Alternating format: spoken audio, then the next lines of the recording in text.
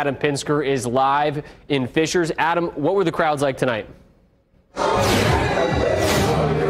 Loud, Cody. Uh, it was packed to the rafters here um, uh, and in Fishers here at this bar. This is the uh, Mashcraft Brewery here in Fishers. Fans started getting here about 1.30 this afternoon. They wanted to make sure they had a seat and were able to watch the game.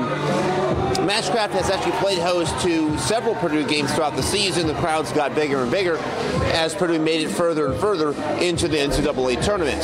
There are an estimated 60,000 Purdue alumni living in Hamilton County and Marion County. It seemed like a lot of them were here tonight as Purdue clinches a spot in the national championship game for the first time since 1969.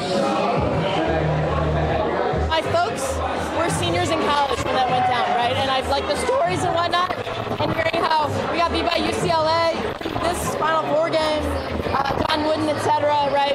And never made it to the ship. I don't know. It's pretty special. My folks are here, and so it's kind of cool to share that with them. Yeah, I would rather play UConn just for, for the matchup. The tougher the team, the better. I think they can beat anybody.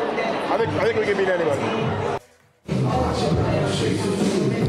And Mashcraft will play host to another watch party that's going to be on Monday at 9 o'clock when that game tips off, so you probably ought to get here a little early. And speaking of early, I talked to a fan of the parking lot who said that she and her husband booked the flight to Phoenix Sunday morning at 6 a.m. so they can hopefully catch the Boilermakers play in person Monday night. It's going to be a long trip. I'm live in Fishers, Adam Pinsker, Wish TV, wishtv.com, and follow us on Facebook for updates.